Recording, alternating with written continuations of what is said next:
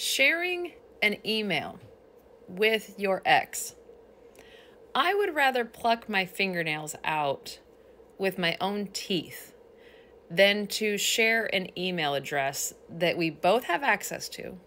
We both have to agree on a password, and we both get to communicate to the teacher using it. No. No. This may be great for those parents that live in the same neighborhood as each other, that still do Christmas together, that fucking do weekly dinners. But for high conflict, it's a no. Because here are the things that I see happening. Number one, my ex would change the password to send a shitty email about me. Number two, my ex would lie and say that they didn't send the email, that it came from my, and then I'd have to hire attorneys to look at IP addresses. It, no.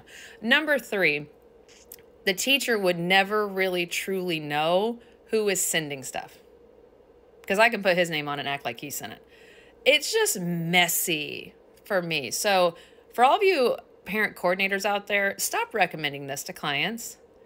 We're grown ass adults. You have your email address, I have mine. We do not need to be a united front because here's the other fucking like comment.